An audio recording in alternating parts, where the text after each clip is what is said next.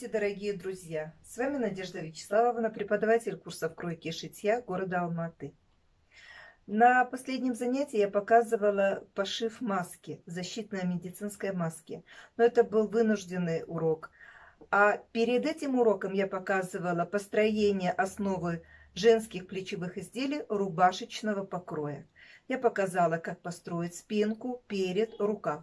Но остался еще незатронутым вопрос – это построение низа рукава, то есть э, складочек, и как они будут э, рассчитываться, и как правильно оформить низ рукава, чтобы складочки лежали красиво и правильно. Посмотрите, вот это два варианта низа рукава. Первый вариант со сборочкой по низу, на обычной манжете. Мы сегодня будем рассматривать обыкновенную манжету или обыкновенный манжет, вернее, шириной, стандартная ширина от 3 до 4 сантиметров. Это первый вариант. В принципе, его рассматривать мы не будем. Почему? Потому что здесь обыкновенная сборка по низу. Это может быть расширенный рукав, это может быть прямой рукав и даже зауженный рукав – тогда, когда разница между низом рукава и манжетой э, составляет какое-то количество сантиметров, и мы сосбариваем на сборочку. Тут все легко и просто. А вот второй вариант со складочками. Вот посмотрите, рукав зауженный немного к низу и две, две складочки или три складочки. Одна складочка может быть на нижней части. Сегодня я хочу показать вам расчет с тремя складочками. То есть вот так по верху, вот здесь будет еще одна складочка. Вот так. Три складочки будет по верху, по, на верхней части рукава. И еще будет у нас закладываться как бы складка вот здесь, э, где сама манжета у нас э, соединяется, вот здесь тоже будет закладываться как складочка. Это рукав может быть прямой, может быть зауженная. Я сегодня хочу показать как бы слегка зауженная. Ну, допустим, если это взрослая выкройка и обхват руки 32 и 6 на свободное облегание, э, ширина рукава была бы вот полностью. Это низ рукава, я просто фрагмент низа рукава вам показываю. И получается, что у меня вот здесь 34 сантиметра. А если пример взять на 32, обхват руки 32 и 6 на свободное облегание 38. Значит, если у меня, я показываю образец на 34 сантиметра, значит на 4 сантиметра внизу заужен рукав. То есть по 2 сантиметра я заузила с каждой стороны. И получила ширину вот низа рукава 34 сантиметра. Вот так. Значит, а, что это за линия? Вот эта линия. Вот эта линия посередине, это середина рукава. Вот эта линия э, локтевого переката называется. Вот эта линия, или задняя часть рукава, так скажем, да? Вот эта линия, это линия переднего переката. Или передняя часть рукава. Как у нас оформляется низ рукава? Обязательно по задней части рукава, по локтевой части рукава мы низочек немножечко опускаем, а переднюю часть мы немножко поднимаем. Немножко это от 0,7 до сантиметра. Можно от 0,5, но все же, чтобы еще лучше сидел рукав, нужно так это заднюю часть мы сейчас опустим. Примерно где-то около сантиметра. А переднюю часть, наоборот, поднимем. Так, по передней части сантиметр откладываю. Через среднюю линию, через серединку, вот эта волнистая линия, низ рукава, ляжет у нас вот именно через вот эту точку. Смотрите, как будет э, вот здесь в начале оформляться линия. Вот здесь, где шов будет, где будет соединяться вот, вот эти два среза. Так, смотрите, вот немножечко должно быть в начале под прямым углом, вот так. Потом начинаем выводить линию. Выводим соединили. Теперь уходим к серединке, к точке. Вот так. И теперь, ну, я вот так всегда поворачиваю, чтобы от себя выводить линию. Вот к этой опущенной точке. И посмотрите, как вот это местечко тоже. Тут какая-то часть должна быть под прямым углом, а потом только она пойдет вот так вниз. Вот такая линия. Вот такая плавная линия, которая на локтевой части длиннее, а на передней части это потому что анатомическое строение руки у нас такое, что передняя часть, у нас же есть сгиб на руке. Так, вот так, значит. Теперь нужно, вот, вот это у нас получается вся ширина. Вот эта серединка, она идет вот она посередине нижней части рукава. Потом вот заднюю часть рукава нужно поделить пополам. Измерить, если, например, линия локтевого переката, она может быть в другом месте, вот поделили пополам. Рукав же может быть хоть какой ширины. Поставили знак, да, э, деления. Теперь от этой точки по 2 сантиметра отступим в каждую сторону. Вот это место, здесь контрольные точки надо обозначить. Вот к этим контрольным точкам будет подводиться манжета. То есть одна сторона манжеты и другая сторона, то есть в круговую это будет, а края манжеты будут соединяться вот в этих точках. Так вот, эта часть 4 сантиметра, по 2 сантиметра в каждую сторону. Дальше отступаем к передней части. Вот это передняя часть. Я напишу передняя часть рукава.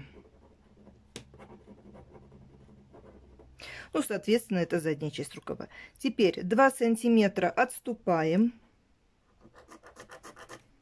Это расстояние до складки.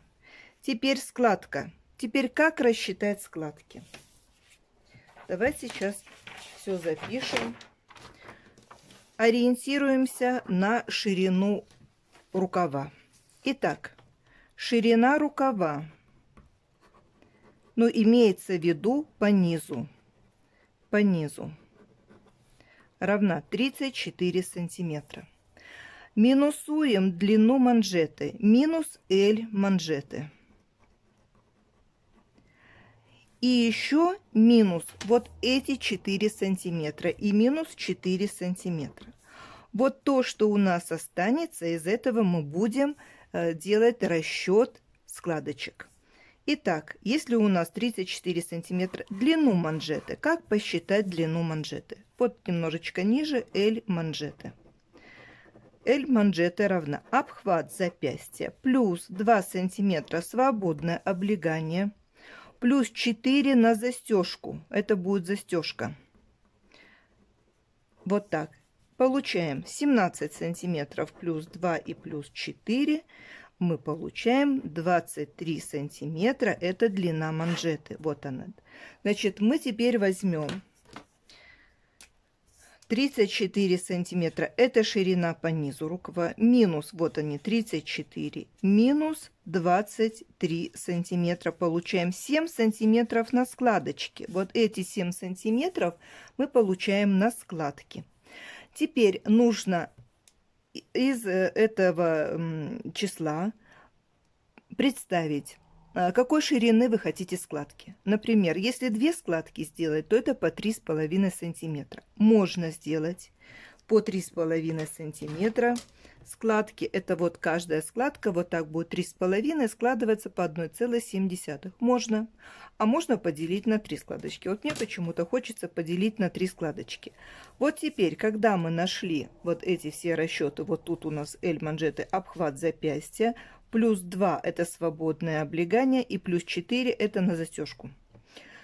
Так, Далее, вот эти 7 сантиметров, то, что у нас осталось на складочке, я поделю на 3 складки. И получу 2,3 сантиметра. Это каждая складочка. Все, расчет у нас есть. Расчет есть манжеты и складок.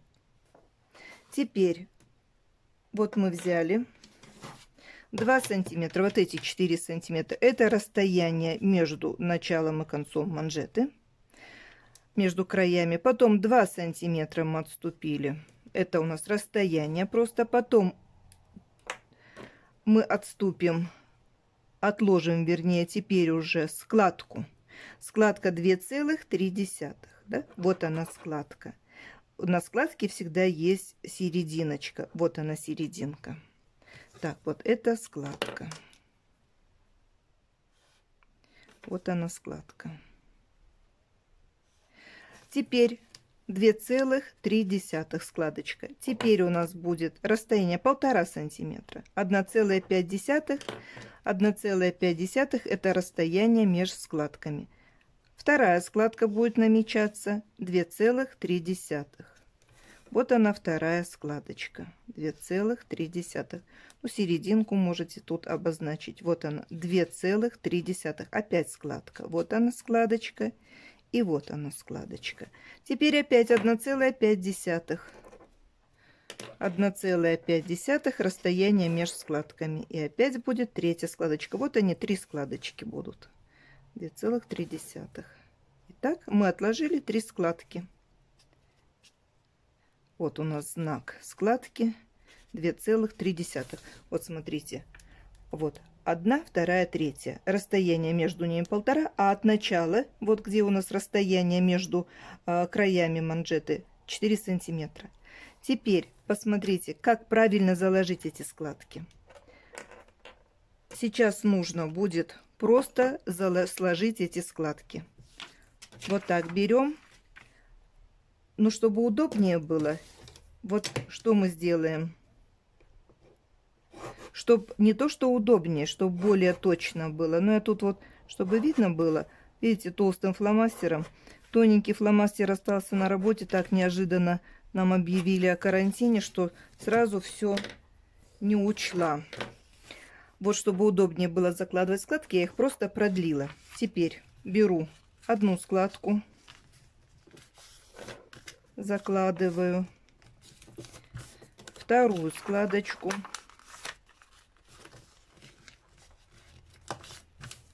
третью складочку. Вот они все у нас заложены складки. Смотрите, только надо правильно вот так вот направление сделать. Вот так. Теперь вот эта волнистая линия, она у нас немножечко нарушилась, да? Так как мы без складок ее намечали. Что сейчас сделаем? Сейчас сделаем корректировку низа. Вот так. Можно отсюда. Вот, посмотрите. Сейчас я так. Или хоть отсюда так вот куда мы должны направить. Значит, так, вот она идет.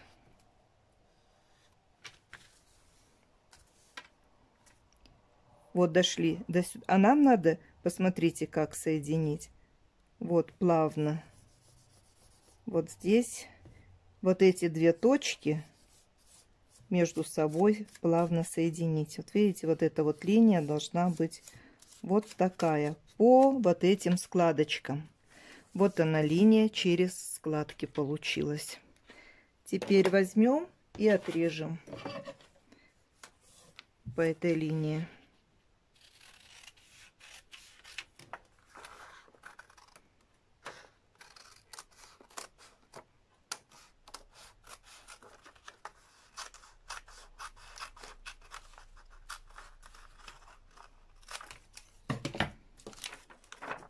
Получили вот такой низ. Вот такие здесь небольшие уступчики.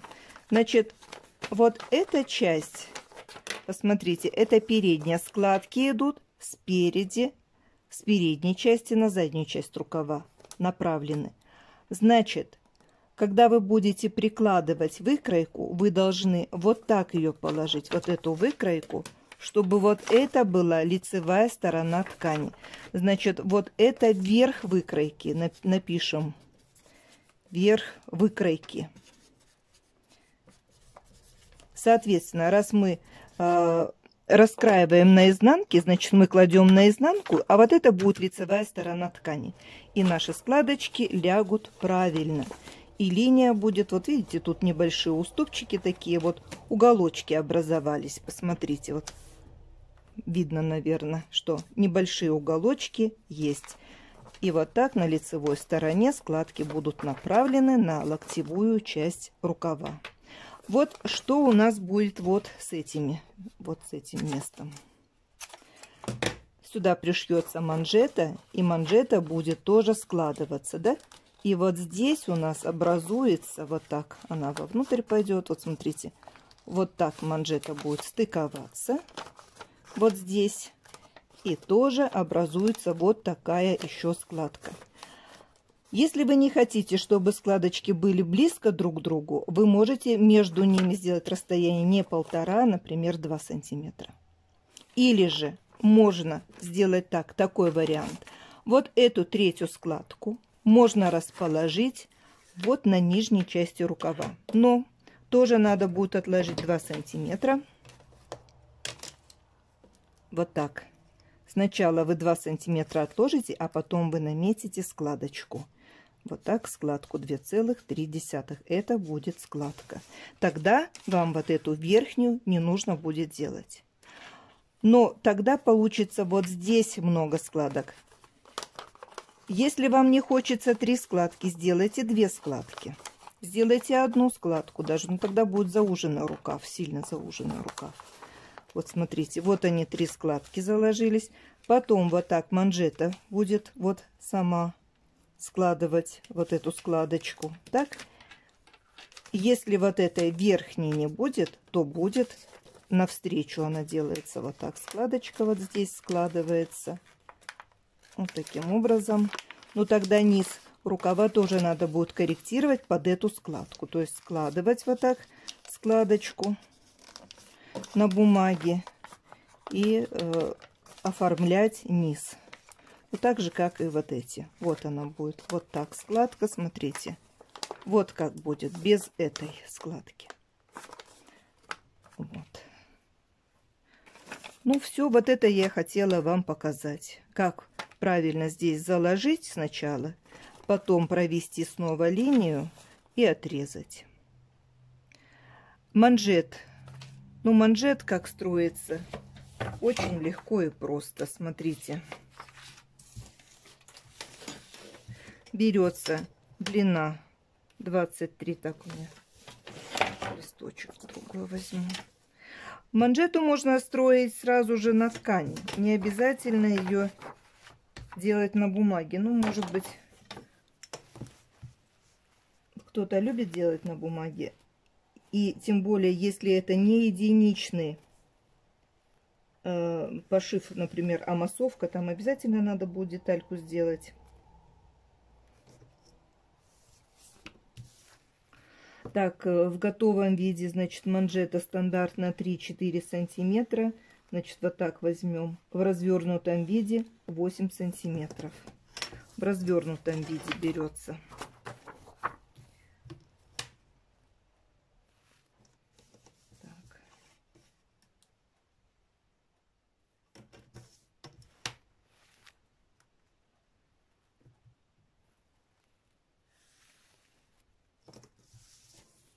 Вот такая манжета.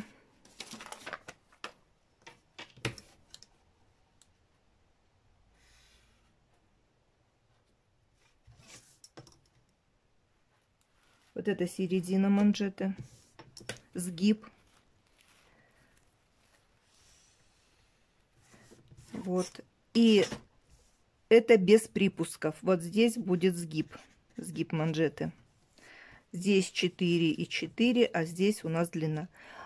Когда вы положите на ткань манжету, вы прибавите вокруг припуски на швы от 0,7 до 1 сантиметра. Желательно вот здесь по одному сделать, а здесь э, на шов можно по 0,7 с каждой стороны. И когда будете проклеивать флизелином или дублерином, полностью не проклеивайте. То есть с припусками не проклеивайте. Проклеивайте таким образом, чтобы у вас за контур по 3 мм в круговую были припуски на дублерине, для того, чтобы дублерин только прихватился строчкой. Ну вот, я сегодня вот это хотела вам рассказать. А теперь заложим складки. Вот эти три складки я заложила на выкройке. Вот это расстояние 4 сантиметра. Вот она манжета. Смотрите, как будет прикладываться. Вот от одной контрольной метки, вот так, манжет, по кругу. И до другой стороны, смотрите, и до другой меточки. Вот так будет у нас манжета. Вот таким образом. Так, вот она складывается как раз. И еще будет вот но она хорошо вот тут подходит, она по расчету все идеально. Теперь еще разочек, вот так она когда сошьется, она вот так заложится. Вот таким образом. Одна на другую. Вот здесь еще будет складка. Вот так большая, довольно-таки такая большая складочка получается. Для чего нужны вот эти складки? Именно вот на задней части, на локтевой части рукава. Для того, чтобы рукав был удобный. Потому что когда мы сгибаем руку, мы сгибаем ее в локте. И когда вот здесь у нас есть вот такие складки, нигде не тянет рукав вот за счет этих складок вот здесь определенная свобода получается на локоть, на движение руки, на локтевую часть. Итак, дорогие друзья, мы рассмотрели сегодня построение низа рукава со складочками. И я хотела бы обратиться к своим ученицам непосредственно, кто ко мне ходит на курсы. Сейчас у нас карантин, все по домам, э, поэтому это вам задание. Вот построить низ рукава, рассчитать складочки, начертить манжету, все посмотреть, как оно подходит. И э, можете раскроить на ткани, можете начать уже что-то делать, чтобы мы, когда встретились, э, мы эту тему быстренько всю проработали. Вот, такое вам задание, девочки. А, ну и моим подписчикам, если кому-то эта тема интересна, кого-то заинтересовала, кто-то еще, например, не знал этого, пожалуйста, тоже раскраивайте. И я постараюсь сделать а, вот такой видеоурок а, по пошиву на ткани. Вот этой манжеты и вот этого низа рукава. Постараюсь на этой неделе. Ну вот с вами была Надежда Вячеславовна. Всего вам доброго. До новых встреч.